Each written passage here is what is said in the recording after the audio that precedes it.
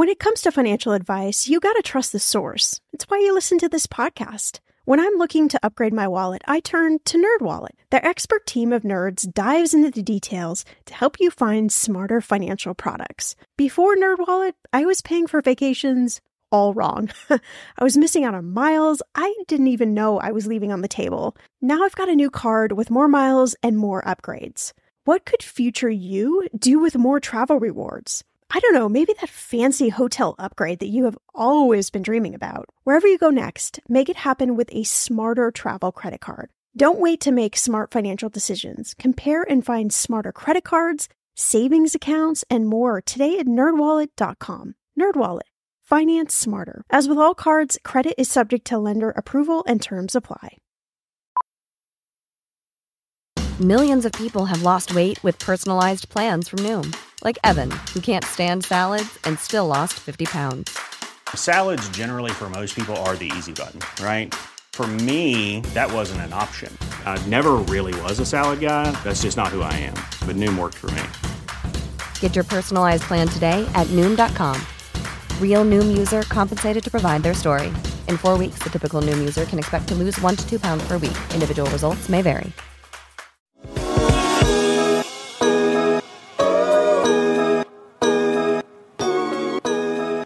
Uh, money is a relationship. So if you are in sacrifice, you tend to attract all the dramas that you go, you have to go into sacrifice. So unless you change what's inside, outside cannot be changed. That's why I use a lot of Zen mechanism. Uh, because a lot of uh, our issues are running automatically, subconsciously. So you have to really uh, come from a different approach. Numbers will not solve the problem. Welcome to Everyone's Talking Money podcast. I'm your host, Shannah Game. There's no judgment, no dumb questions, just smart conversations about you and your money. So come on in and grab a seat. Everyone is welcome here.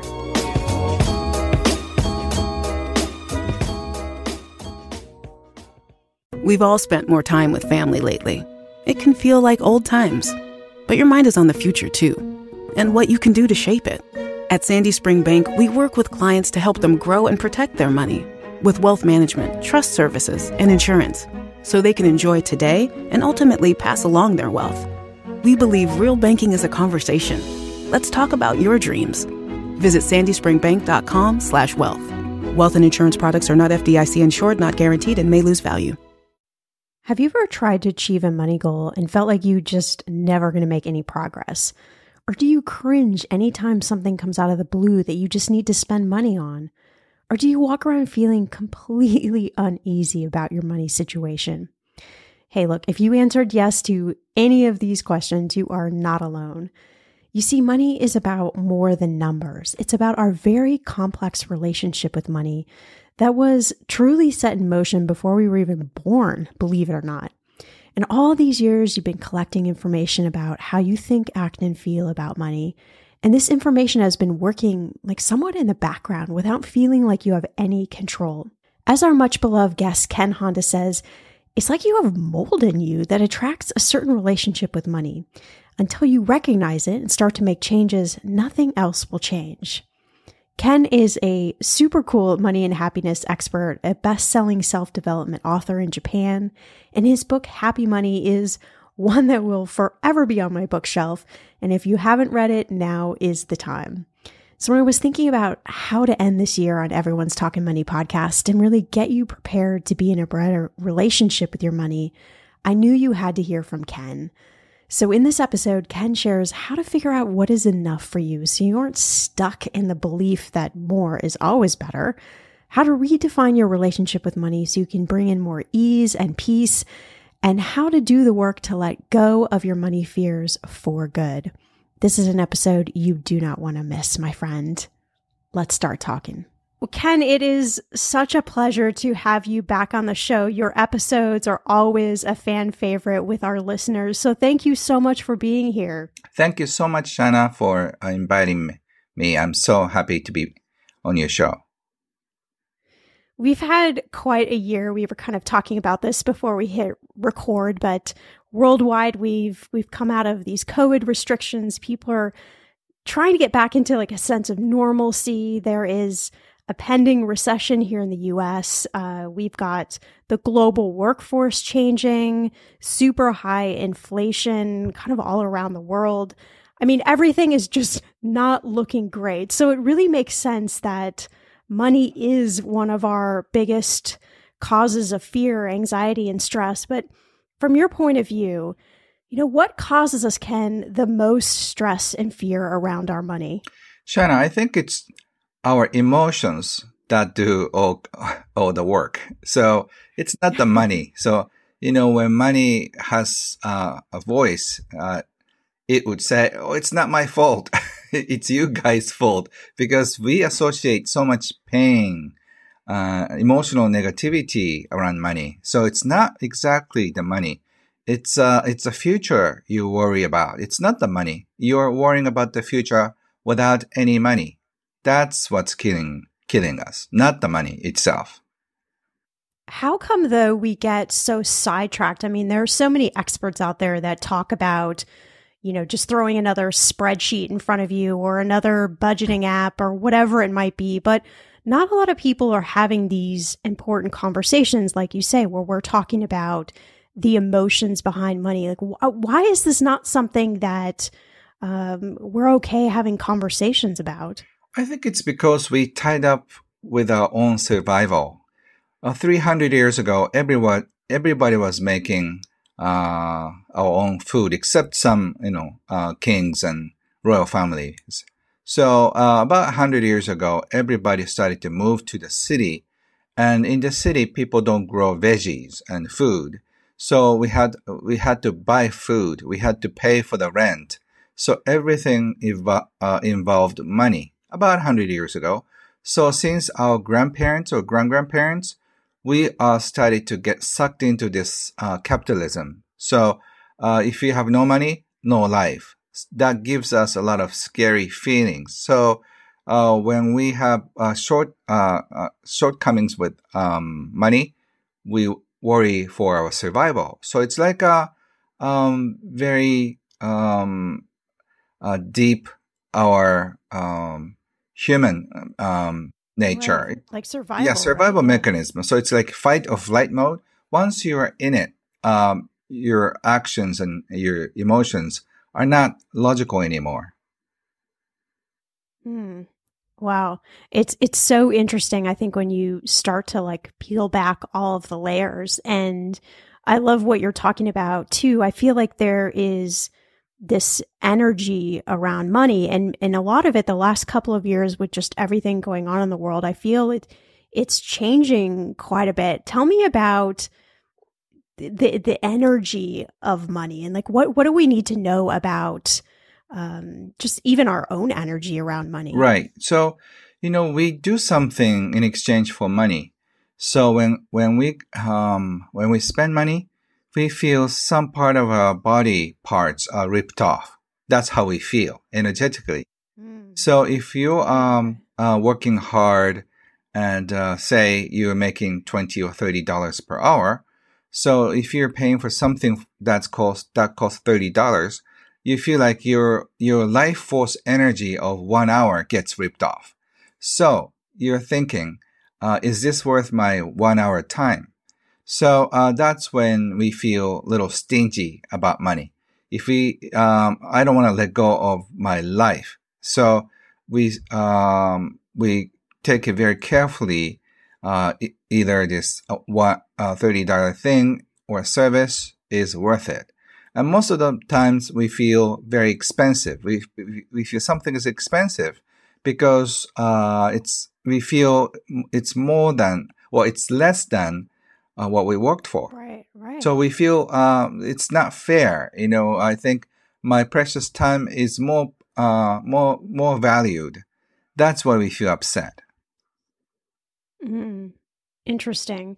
And I also think that um, there's probably a lot that we don't know about our energy around money. I'm just thinking about kind of my own evolution. And many, many years ago, when I was a practicing certified financial planner and I would work with people and I would always say, you know, why aren't they making the changes that they hired me to to make? Like why are they repeating patterns? Like what is happening here? And it was really when I started to discover my own relationship with money, but then also see how people kind of just stay stuck in these patterns and they don't even know how to to escape them and i think one of the most fundamental questions that you can ask yourself is how do you feel about money how, how do you feel about that question like i feel like there's a lot of information that you can uncover Right. So, uh, what a lot of people uh, get surprised after reading my book or listening to me.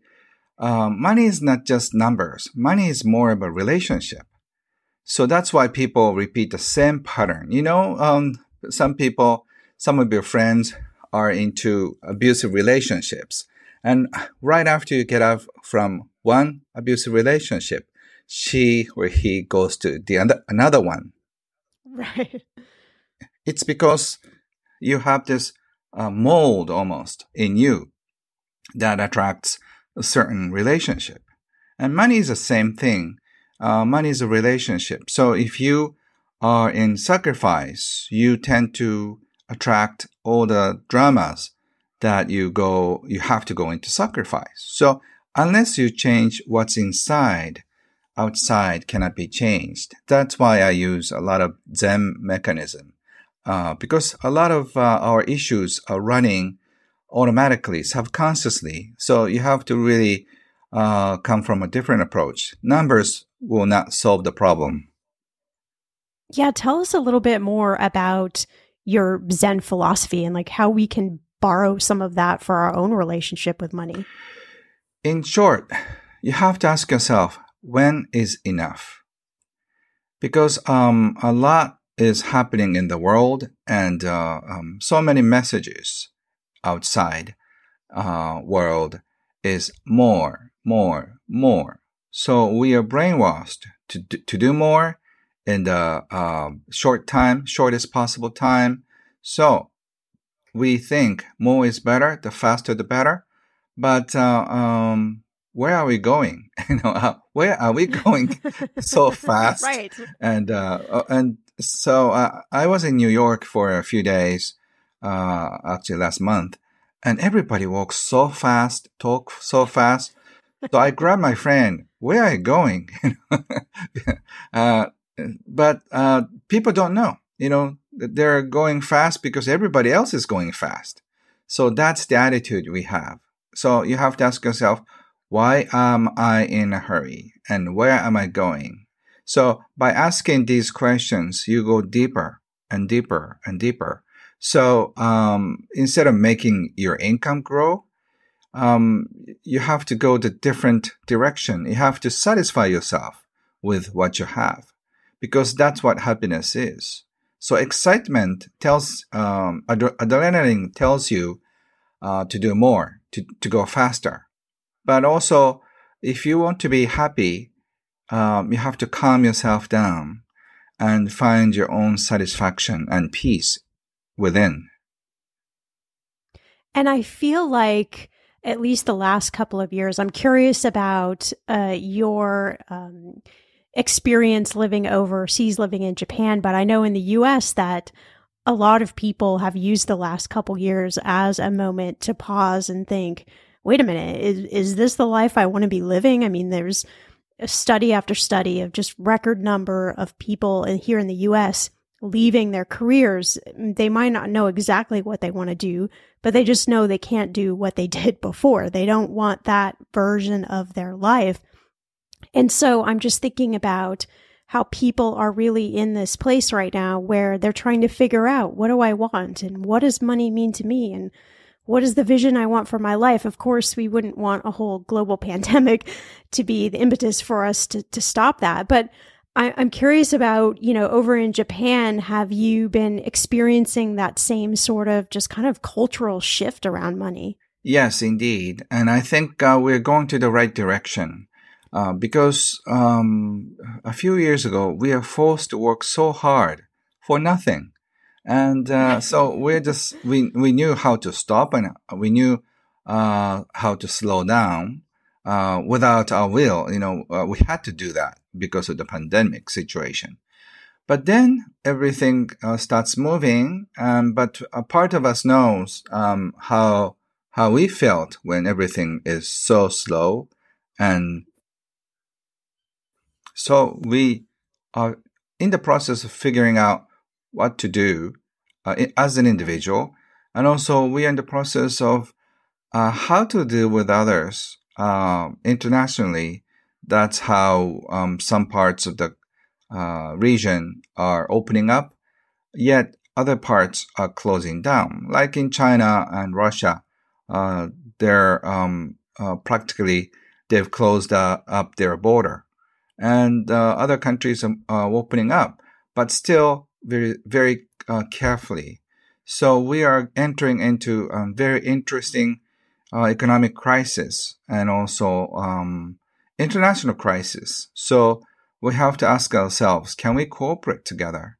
We didn't do it so well last time, um, 80 years ago. So we are giving us the third opportunity, a third chance to do it right. So I think we are going into an interesting uh, time that um, uh, we're we're going to be tested whether we'll do we'll go through this together or just we will fall apart. Hmm. What do you think is going to happen? I think internationally there will be a lot of conflict and also chaos. But in about five years, I think we're going to figure out uh, ways to start uh, start over, and then I think we'll come up with some kind of uh, international uh, financial system um, to just start some start everything new. So we'll be probably giving a new opportunity. Uh, so um, I think everybody will feel uh, will will be given a start fresh, uh, a fresh start. So um, we can we can do everything right. So I'm very excited because that's what I've been uh, talking about uh, for the past five years. So I'm not just talking about happy money. Uh, I'm talking about the fair life um, that uh, gives you uh, so much satisfaction and joy. And our current financial system doesn't seem to offer that kind of uh, joy uh, for everybody, unfortunately. So five years is a long time.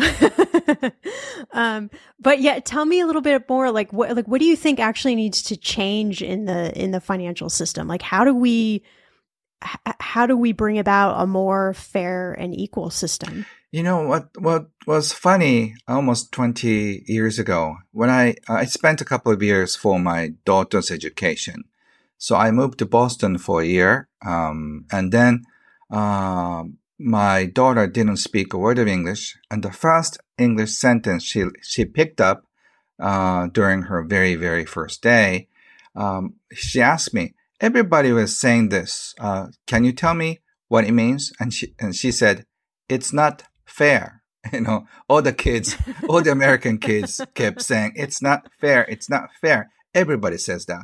And I guess uh, I think in North America, the most important thing is uh, fairness, you know, since Abraham Lincoln, I guess. Right. And Yes. so, but uh, the peop- why uh, kids are, are telling um, each other it's not fair, it's not fair, is that uh, life is not fair.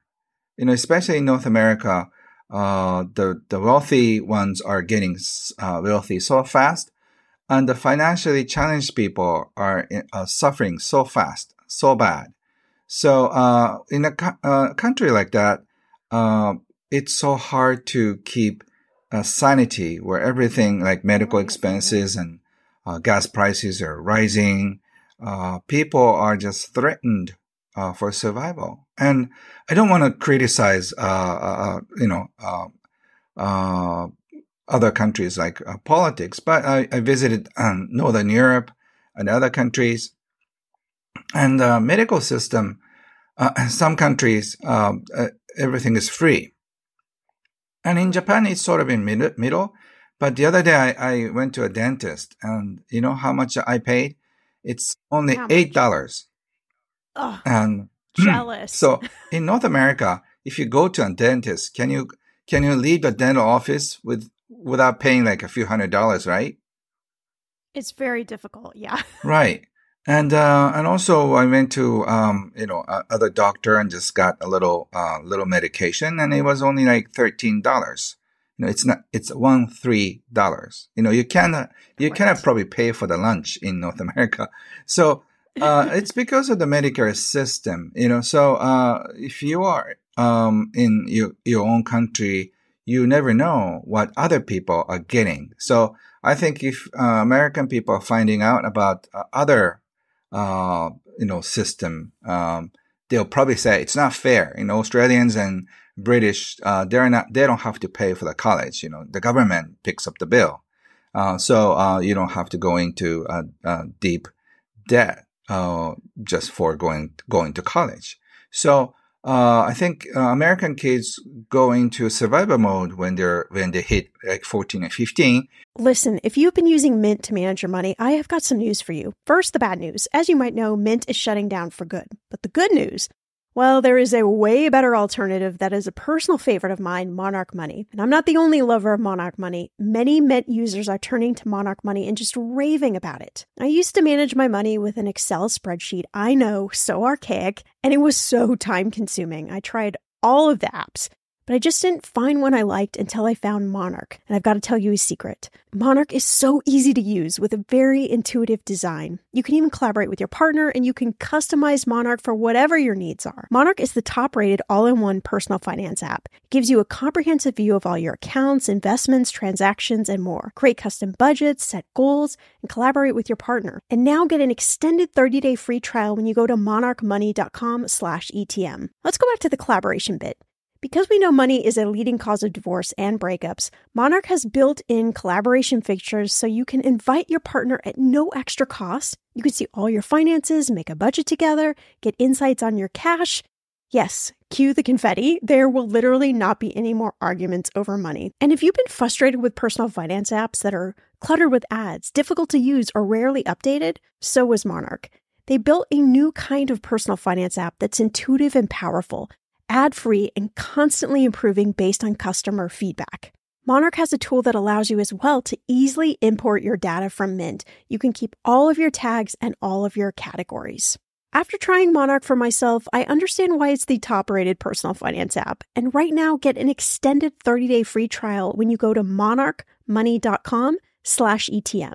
That's M O N A R C H M O N E Y dot com slash ETM for your extended 30 day free trial. I'm Samantha Cole, host of the new season of Understood, the Pornhub Empire. Over the course of four episodes, I'll tell you how a horny YouTube knockoff in Canada came to dominate the porn world, only to shatter their cheeky reputation in a massive scandal. The Pornhub Empire is a new season of Understood from the CBC. Available now wherever you get your podcasts if you want to go uh, go to higher to get higher education, you are going to feel a lot of stress because you don't want to put your parents right. into a lot of stress. So this is welcome to capitalism. Um, so, you know, um, we feel uh, the system isn't right, but still at the same time, uh, it's hard to change as an individual. Just as we're talking, I mean, there's there's so many layers, and it's it's like a deep understanding as to why a lot of us aren't happy in our lives, and certainly not not happy with our money. Um, one of the things you talk about, you say that um, when we earn or spend money, we do so either with love or fear, and I've I've just spent a lot of time really thinking about that and like how powerful that is, and and how we don't think about that when we when we do spend money, but tell us tell us a little bit more about that like the relationship between love and fear. Mm-hmm. so it's not just about the money. It's how you relate to life. Um, if you are loving and generous pe- um, person you look at the world through the lens of love. But unfortunately most of us are living in fear. So for example a neighbor or strangers could do any uh, could do some harm for you so that's because you are in fear. Um, and unfortunately, I felt that, uh, that a lot in, in big cities in, in modern world. but um, it's because we are living in fear. So once you go into this fear mode, it's once again flight or fight or flight uh, mode. So you cannot spend um, money joyfully. You cannot receive money joyfully. So everything um, about life you do th- uh, through fear. So the fear, uh, what's what's bad about it is it's contagious and it grows in you. So it's going to eat up a lot of your peace um, in, in your heart. And um, it, it, Yeah. it goes down to the generation. If you're fearful, your kids will be also fearful too.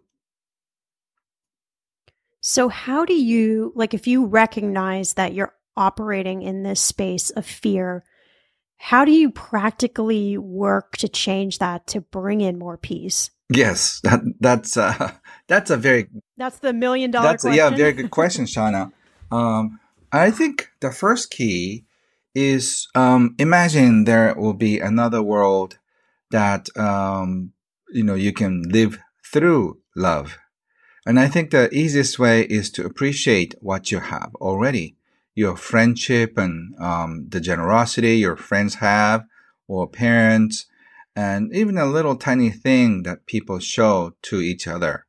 And if you have enough uh, feelings, um, positive feelings in you, it's going to fill up your heart and then it overflows. So you have to start counting um, positive energy in your in your life, and you have to increase your positive energy by making money with love and appreciation, and sp- spending money with love and appreciation. Hmm, right. It's it's almost so simple and yet so many of us just kind of stumble over it a- and don't do it practically every day. But when you think about it, right? It's it's just simple. Yes, it is. That's what I teach. And one appreciation leads to another. And then it's like, uh, it's, it's a, it's going to be a game changer. Um, without just, um, noticing, you are going to start looking, um, life, uh, looking at life with, uh, eyes of love. And once you're in this love mode, uh, you're going to attract a lot of great people.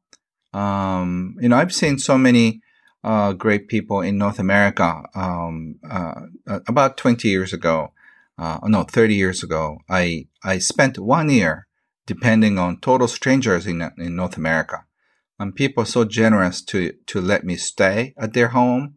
So I still believe in American, um, generosity and uh, positivity and hospitality. So if you're open to those, um, there are millions of Americans who are uh, generous and happy to support you. So, uh, you know, um, uh, which world do you want to open up to? Loving one or fearful one? It's up to you. Mm, I like that. That uh, it it really is our choice. And you you've been on this show a couple times before. You are a happiness and money expert. You're author of one of my favorite books, Happy Money.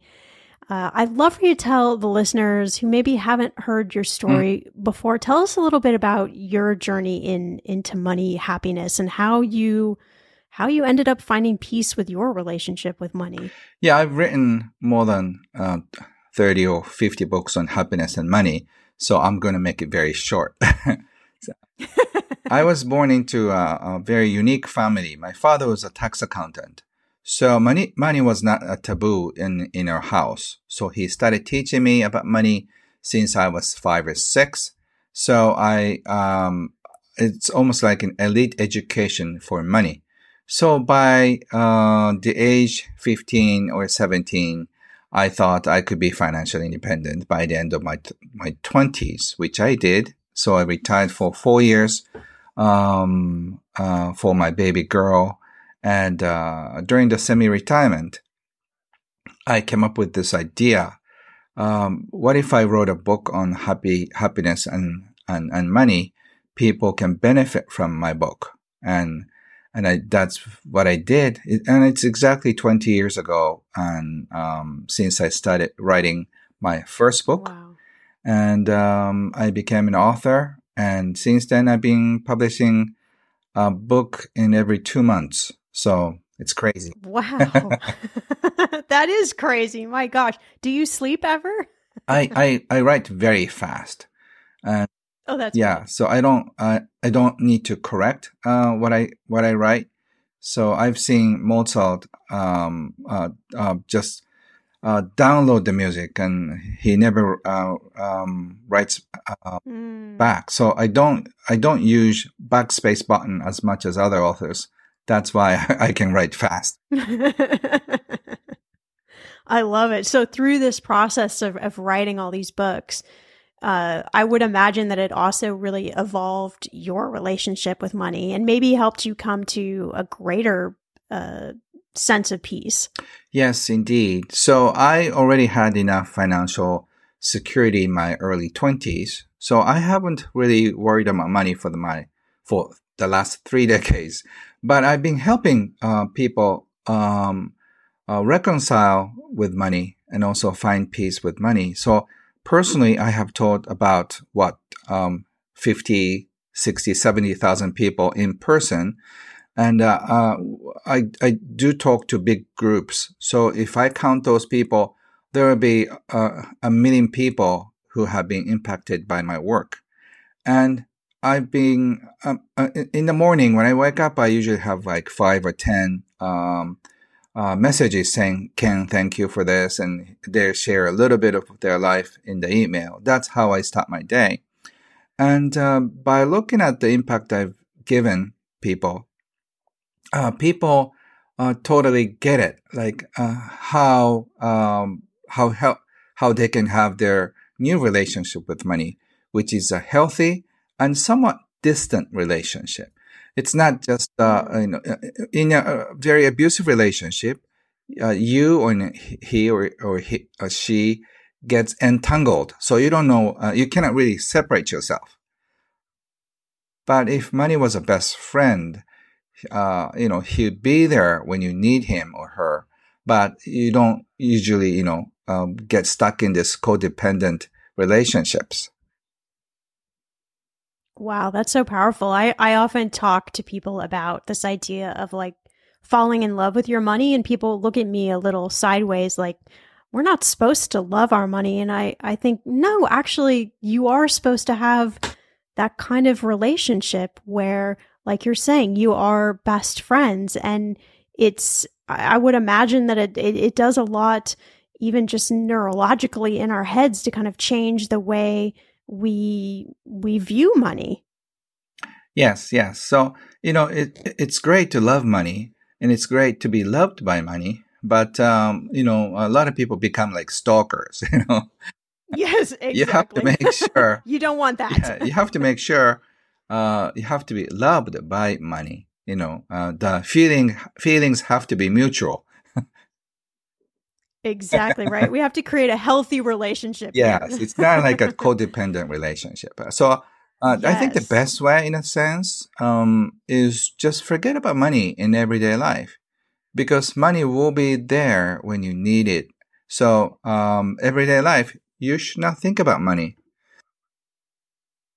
Hmm, I like that. Like that's a totally different perspective and a really interesting way uh, to think about money. I, as you're talking, I'm I'm thinking about this. I recently became um, a certified trauma of money specialist and did a lot of uh, studying and work on how trauma.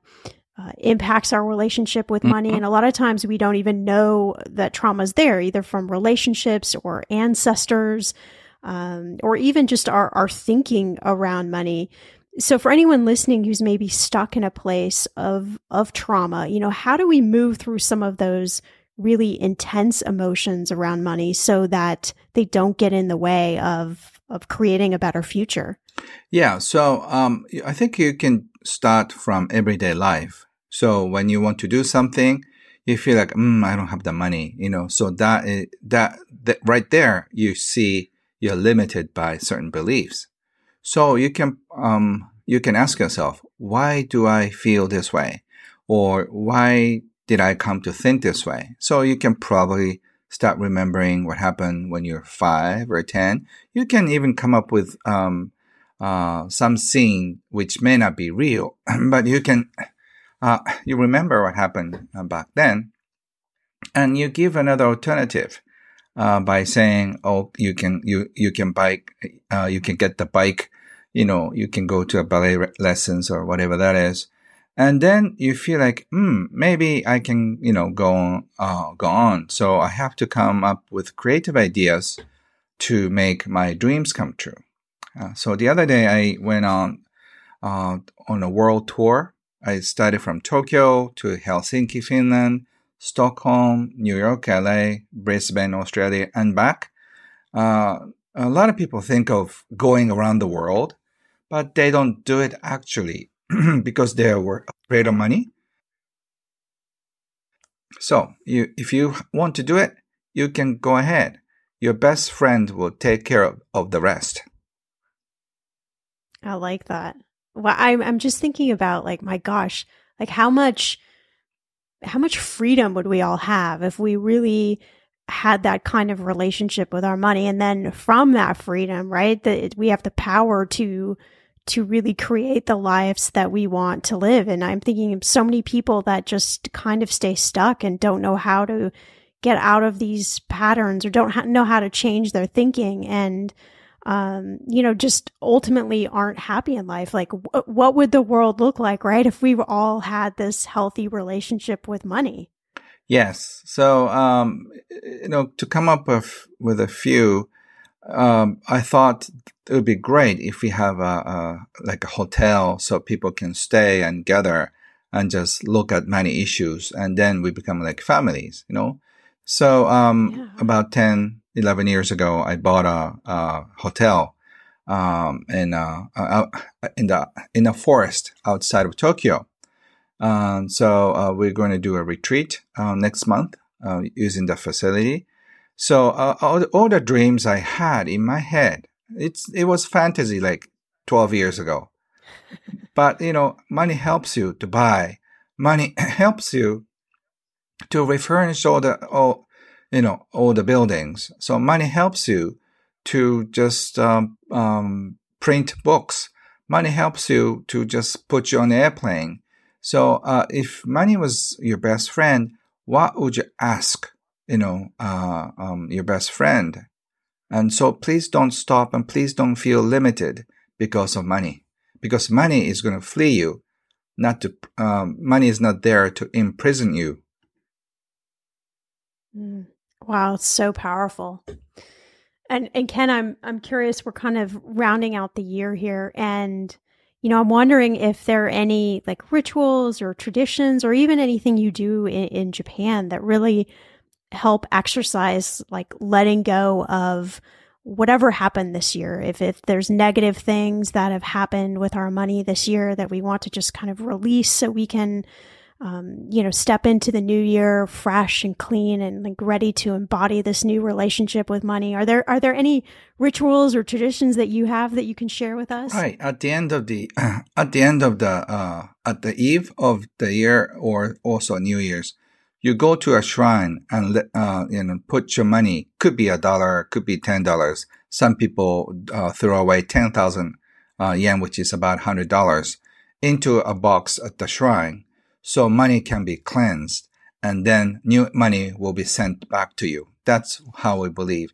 So uh, some people think more the better. So they, they put, they put a hundred dollars in a box, which kind of like surprised me. So, uh, you know, I think you can do it in America too. Just put a dollar or ten dollars in a box at the supermarket for some kind of fundraising.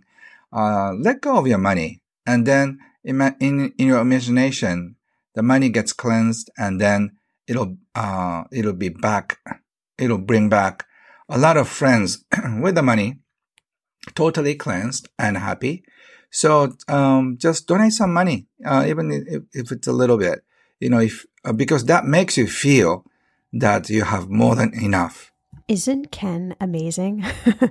I mean, listening back to this interview myself, I'm just reminded that it is possible to bring in more peace and ease when dealing with money. But I am just like you. I have so many moments when I get fearful or stressed about money, and it's just hard to think about anything else.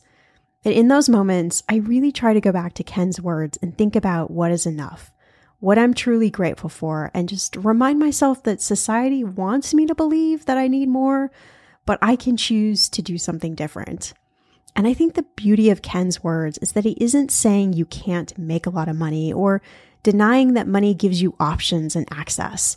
But what he is saying is that your relationship with money is far more important than the numbers because the numbers, they can just come and go very easily. So, my wish for you is that 2023 will bring you nothing but peace and ease. And even though there's a lot going on in the economy, you don't have to get caught up in the scarcity and fearful thinking.